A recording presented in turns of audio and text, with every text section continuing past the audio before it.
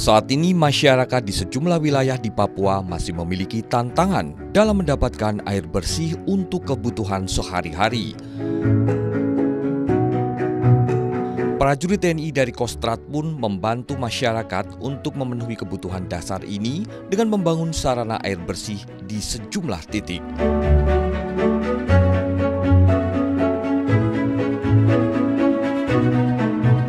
Pentingnya kebutuhan air bersih bagi masyarakat inilah yang mendorong prajurit TNI dari Kostrat membantu masyarakat di wilayah Papua yang masih kesulitan mengakses air bersih.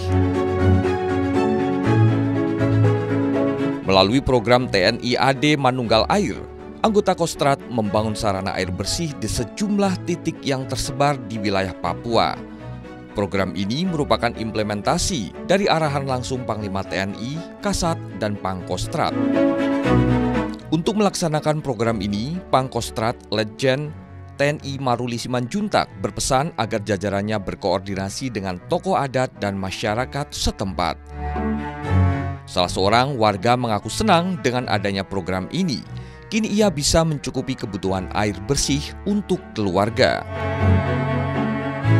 menyampaikan terima kasih kepada Pak Posrat sudah membantu kami eh, dalam hal ini bor karena selama kami di kampung Wiradua ini kami merasa kesulitan air.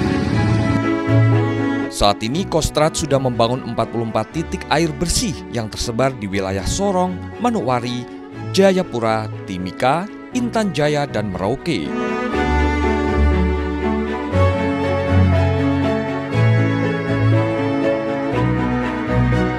Melalui program ini, jumlah penerima manfaatnya mencapai 12.687 kepala keluarga atau 31.991 jiwa. Ke depan, Kostrat akan terus melaksanakan program serupa agar lebih banyak masyarakat yang merasakan manfaatnya.